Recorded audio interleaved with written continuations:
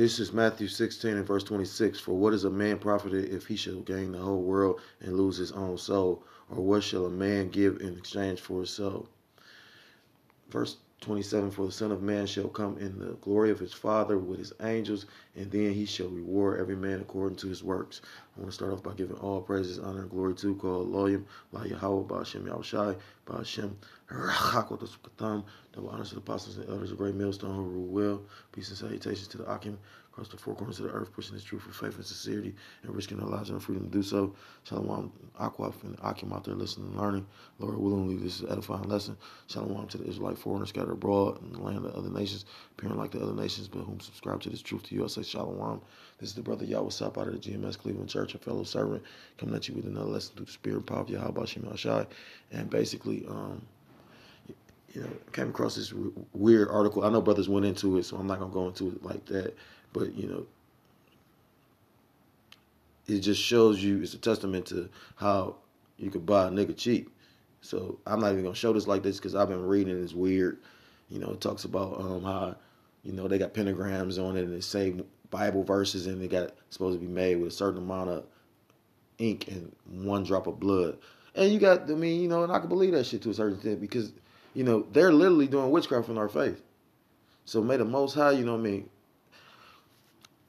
Yahweh Yahushua, I pray that you literally speed this thing up. And I know, you know, but we're sighing and crying out here. This, I mean, that's why I talked about it's gonna be so bad down here. The Lord gonna have to see him, you know.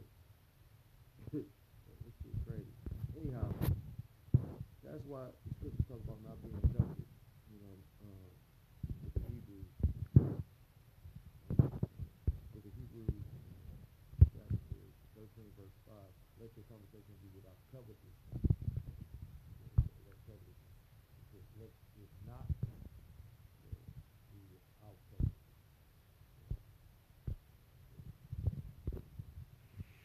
Strong's G 866. Afilar Guras. Afilar Guras.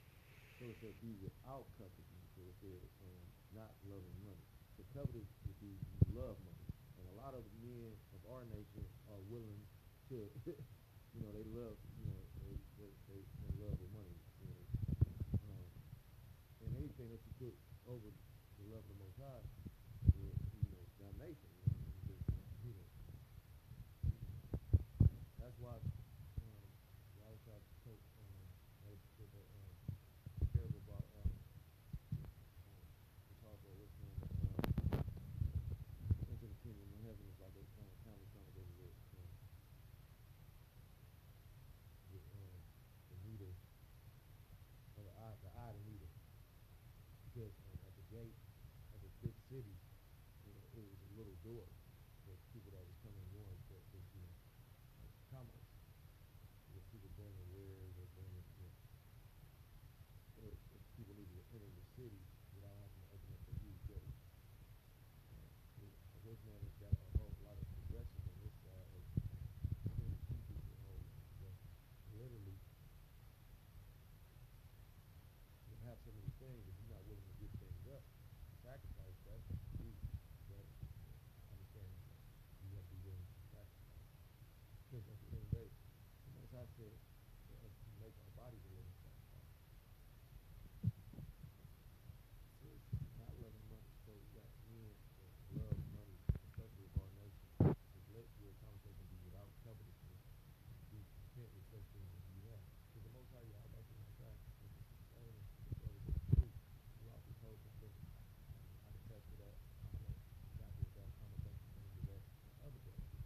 You know, you got Esau really taking a beat out here. You know, that's just like when it happened, the, the storm happened in Dallas, you know what I mean? You know, it's, it's news reports that Edomites joining the trash can. The brothers was like, they was through. Call him lawyer, my y'all about to. This case is over with. You,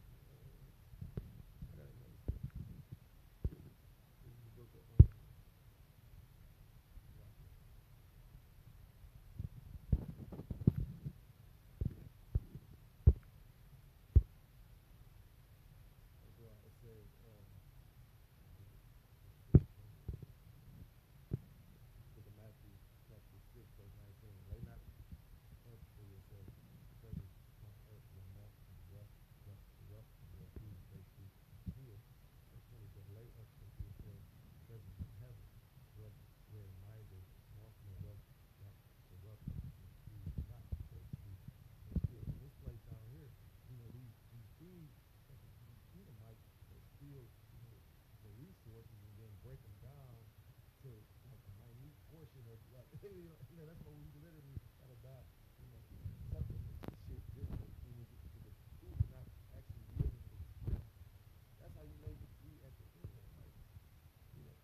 people believe in, in pressing things. Like right now, you got these stimulus packages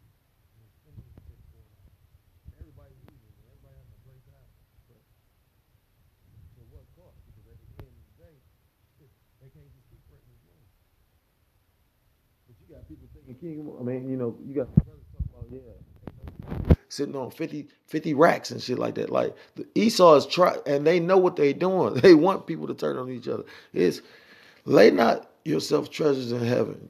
I mean, Salakia, lay not up for yourself treasures on earth. Because, like I said, at the end of the day, this shit is carnal. You know what I mean? It's a um, account in the, the scriptures about the rich man that um, basically tore down his barn and, and built bigger because he had had a uh, a, a, a, a, yieldful um, harvest. And, you know what I mean? So he decided to build everything up bigger and uh, get buy more land. He said, so if he do it this way, you know, he'll be able to sit back, sit back and um, you know enjoy, you know, without having to really do no more work. and literally, the Most High told him like, you, you know, you fool, you know what I mean? Like today is the night that I require your soul. You never know. You know, you had a lot of men with a lot of money that enjoyed the um, pleasures of this kingdom, but you know, what I mean, actually, like, was taken out without. I mean, nobody knows how they. I mean, you got it's deep. You know, what I mean, Most High is a terrible power. You know what I mean, and it tells you that in the scriptures. You know what I mean. Yeah, because the thing is, the scariest part about the truth is when you actually that was the scariest thing to me. You know, we always had the devil, so-called devil, just was so powerful that he was a match to the Most High, and you know what I mean. He was fighting for you, and you know the Most High is fighting for you. That's how they try and portray it. But when you figure out the truth is, the Most High is the ultimate power. You know what I mean? So you know, at the end of the day, it, it's so cold because you got Yahweh Shai that's on the righteous side. You know, and you look at the movie like um, Thor you know, they making like kind of like mockery of it because it's like a, it's deep. But anyhow, then you got you know see the thing is when you realize that Shantan is in order up under the Most High, that's what makes you like because then you realize, well, wow, the Most High actually is the one that's putting you through, you know, letting the left hand get to you, right? It's deep. Last scripture uh, I think it's right in here. This is the book of Luke, chapter 12. I think it's verse 15. This is Luke 12 and 15. He said unto them, Take heed and beware of the of covenants, for a man's life consists not in the abundance of one of the things which he possesseth. That's the spirit because I just Okay, he said unto them, Take heed and beware of the covetousness, for a man's life consists not in the abundance of the things which he possessed. Because in this truth, and when this thing go down, you're gonna have to leave a lot of the things that you hold dear. Because it's sacrifice. Our Lord and Savior sacrificed himself to redeem us back in a, a, position where we can be back in the good graces of Yahweh Shem Shai. So Salakia. So at the end of the day, why wouldn't you have to sacrifice? I mean, a true leader, a true head will be, uh, you know, when you look at movies like Fury, you know what I mean? you know, certain movies where you're seeing that actual leadership skill. It says, you know, so if our our leader, our head, because the Most High is Yahweh Bashem Yahshua, they're our father, and then our big brother, you know what I mean? We're up, under our big brother. And if he's being the great leader that he is, if he had to sacrifice, why wouldn't you? It says, and he spake a parable unto them, saying, The ground of a certain rich man brought forth plentifully. Verse 17, and he thought within himself, saying, What shall I do? Because I have no room where to bestow my fruits. And he said, This will I do. I will pull down my barns, and I build greater, and build greater, and there will I bestow all my fruits and my goods. Verse 19. And I will say to my soul, Soul, thou hast much goods laid up for many years. Take thine ease and eat, drink, and be merry.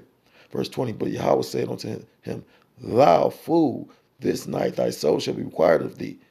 Then who shall those things be which thou hast provided?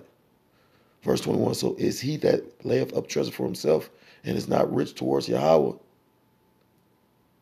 Verse 22 And he said unto his disciples, Therefore I say unto you, take no thought for your life what ye shall eat, neither for the body what ye shall put on. Because, like I was saying, the Most High has taken, been taking care of us through this whole thing. And then this is the build up you know, the spirit of certain men is to know to rely and have faith in the Most High, and that's what the thing is, the faith. You got the motherfucking demons over there on the left hand side. They having faith in their power.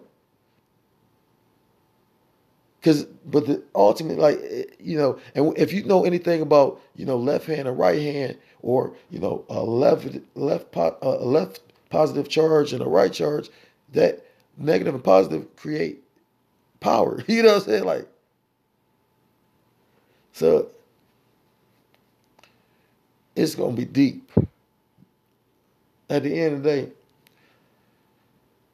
you got people that's to do a lot of things for the, especially now, like I said, like right now, you got people without and you got people that's got all this money. Like I say, so you don't think all kind of things going on and they just not speaking on it? Why do you think so many rappers getting killed? Because they put, they trust in this place. And it, you know, a lot of them will do a Lil Nas X. I, I wonder what they paying this guy. I mean, and to show you how much, for real, for real, to show you, I wonder how much they paying the guy to show you how cheap they can buy a nigga.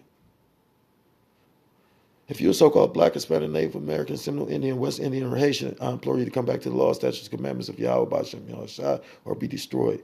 And with that, I want to give all praises, honor, and glory to Call Loyam, La Yahweh, Ba'ashem Yahushai, Ba'ashem Heracha, Kodash Barakatham. Double honors to the apostles and elders of Great Millstone who rule well. Peace and salutations to the Akim across the four corners of the earth, pushing this truth with faith and sincerity and risking their lives and the freedom to do so. Shalom to the Akwath and the Akim out there listening and learning. Lord willing, this is an edifying lesson. Shalom to the Israelite foreigners scattered abroad in the land of the other nations, appearing like the other nations, but subscribing to this truth to you. I say Shalom. Um, this is Brother Yahweh Sop out of GMS Cleveland Church, a fellow servant coming at you with another lesson, the spirit and power of Yahweh Shem Shai.